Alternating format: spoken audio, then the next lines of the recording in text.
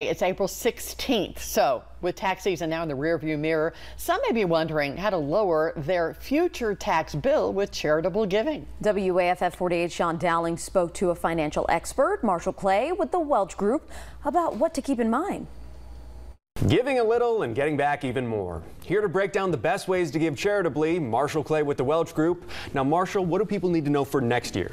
Yeah, so I think you really need to understand your tax situation, and I boil it down to understanding whether or not you fall into the standard deduction category or the itemized deduction category. So if you fall in the standard deduction category, everybody gets a, a lump sum, a standard lump sum amount that they can deduct against their income. Mm -hmm. So for 2024, it's $29,200 for a couple married filing jointly, $14,600 if you were a single filer. So that's the right. first thing to understand. So if you fall in that standard deduction category, that's a big deal. Now, if you fall in the itemized deduction category, you basically take, you know, state and local taxes, some home mortgage interest, health care costs, and charitable giving, and you add all those all those itemized deductions up. And if they exceed your standard deduction, well, then you fall into the itemized deduction category. And that's very important because I have a lot of clients, they come in and they say, well, you know, I give to charity every year, but yeah, I get this, I get this deduction for it. And, and, and they're oftentimes upset when I tell them that, look, you fell in the standard deduction category,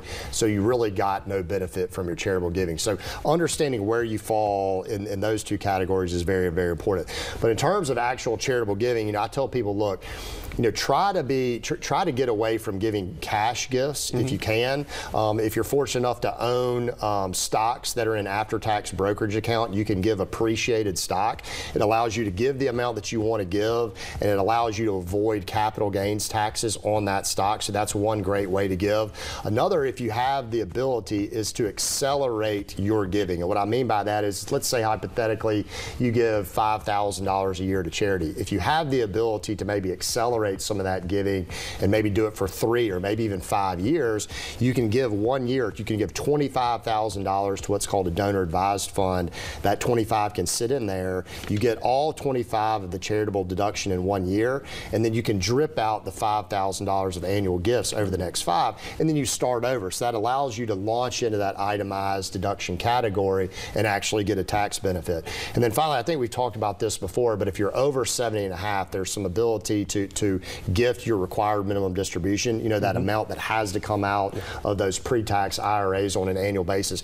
So really, you know, in, in, in, in summary, really it's understanding where you fall in those two different tax categories and then understanding how you can give to give you the biggest tax bang for your buck. Absolutely. Marshall Clay with the Welch Group. Appreciate your time. Appreciate you.